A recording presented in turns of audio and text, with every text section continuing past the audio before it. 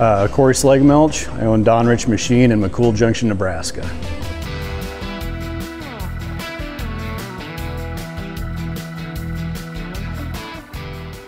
I've always been interested in engines, the internal workings of them, then also just running equipment, so the two kind of went hand in hand. And then I had an opportunity to buy a business that was, the guy was retiring, so I've been on my own for nearly 21 years. What I'm most proud of is starting out as a one-man shop in a 2,000 square foot building with just a handful of equipment. And now here we've moved into a 7,200 square foot new facility with multiple employees, the latest CNC machine equipment and an in-house dyno.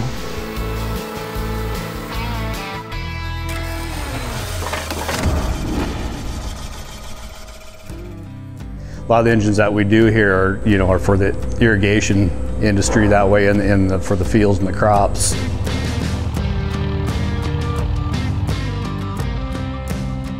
Our primary focus is the dry fuel applications that way in ag and industrial. And, the, and what's really coming on strong here lately is our presence in the medium range diesel engine market right now. We've got ISXs, CAT C15s, Detroit 60s. You know, then we'll switch over and do V8s, you know, for a while once we're tooled up. And that's the nice thing about the Rottler.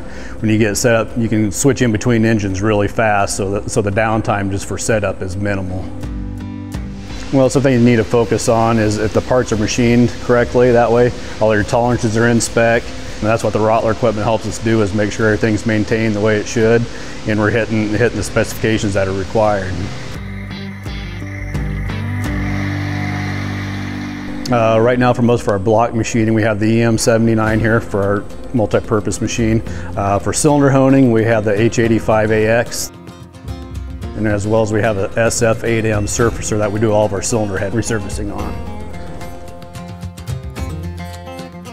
I'm Garrett Mishu. I've been working at Donrich Machine for about three and a half years, doing, doing what I love. With an older machine, it's not fully automated, so you'd just be watching everything, making sure it's doing what it's supposed to do. Going the CNC route definitely increased our speed and accuracy of our work that way.